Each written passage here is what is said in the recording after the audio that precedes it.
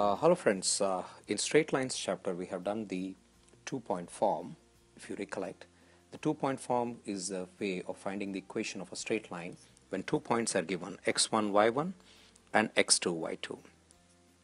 So um, we have this equation here y minus y1 by y2 minus y1 is equal to x minus x1 upon x2 minus x1. Now using this equation we can finally convert it to y is equal to mx plus c form. If we know x, then we can convert y. This is a simple linear equation. Now you may be wondering what are these two insects uh, doing on this side?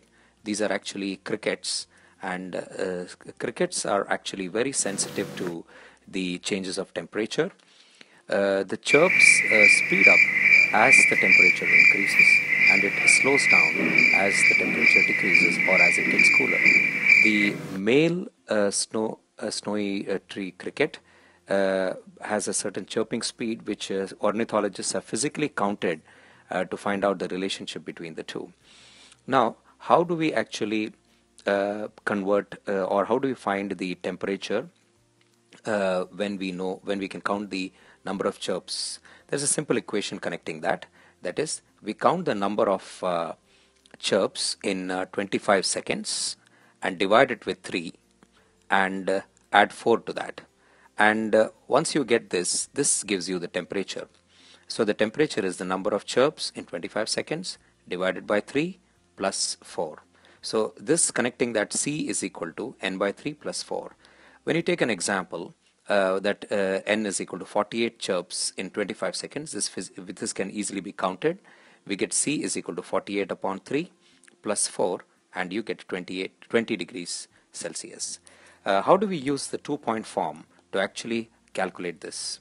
Uh, scientists have uh, estimated that there are 120 chirps a minute when the temperature is 70 degrees Fahrenheit and around 168 chirps per minute at 80 degrees Fahrenheit. Note that I have now changed the unit to Fahrenheit.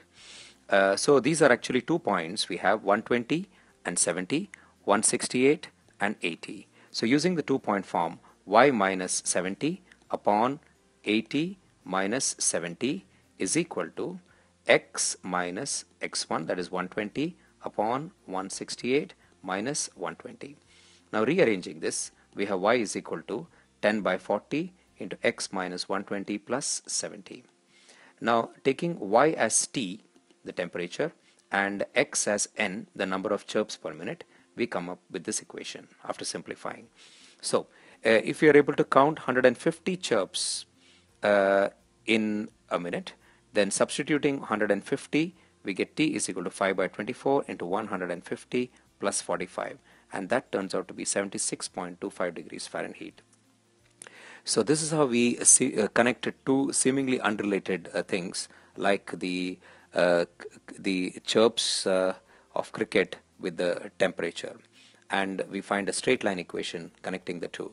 So now at any stage, uh, if we know the number of chirps, we can find the temperature or if we know the temperature, we can predict the number of chirps.